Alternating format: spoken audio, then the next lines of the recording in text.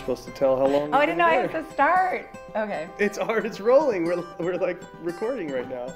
Well, we've been together about 10 years. The community of our friendships that exist with Ben and I were sparked at SCAD. We have this special language that we can talk about stuff. We know words like chiaroscuro. That's one of my favorite ones I learned at SCAD. Married for almost 19 years and eight months. A quarter of a century or so. Well, we were on the swim team together at SCAD. Yep. Uh, he was a junior and I was a freshman. It was pretty much love at first speedo. I think that the artistic background helps us a lot. Being in critique, you have to be perfectly honest with people, and I think that's something very crucial to relationships. I don't always like it though. Well, I was studying film and she was studying illustration. And the first time I met her, she helped make a poster for my movie. Oh, yes. It was very good. Gene was walking down the um, middle aisle between the studios on his hands and he was eating Twizzlers.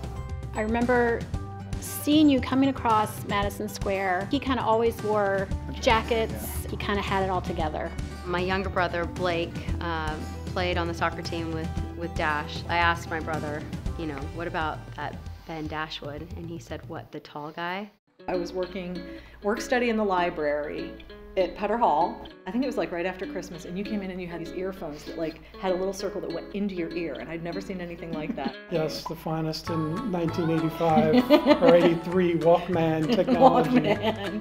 Can I just tell it? I tell it so much better than you. Fine. We're in the middle of the Rome terminal.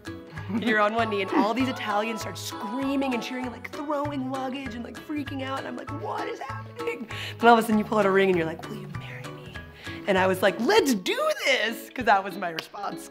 After the first conversation I had with Owen, it was just like, yo, let's hang out for like ever. That's it, exactly how it was. And then we end up on the beach or having this romantic walk. I called my mom and said everything's okay, um, but I want you to talk to the person I'm going to marry. And then put her on the phone. And that happened. And then they here talked.